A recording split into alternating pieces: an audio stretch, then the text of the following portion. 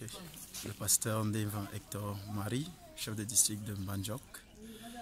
Aujourd'hui, euh, je m'adresse à vous pour dire combien le programme Ciel est important pour nous ici en Mbandjok. Le programme Ciel arrive à point nommé parce que les laïcs en ont besoin. Les laïcs doivent être formés, surtout qu'on parle de l'évangélisation qui est la mission première de l'Église. Et lorsqu'on a présenté ce programme ici, les laïcs de Mbandjok l'ont bien reçu. D'où ils se sont déjà inscrits massivement, près d'une quarantaine déjà.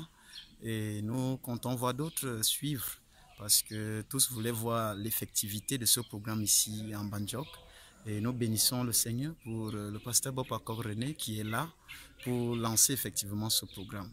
Donc, euh, avec son arrivée ici, dans l'avenir, nous pensons que les membres de Banjok pourront réellement être des hommes et des femmes prêtes, prêts, prêtes pour la mission qui est à venir, celle d'annoncer l'évangile.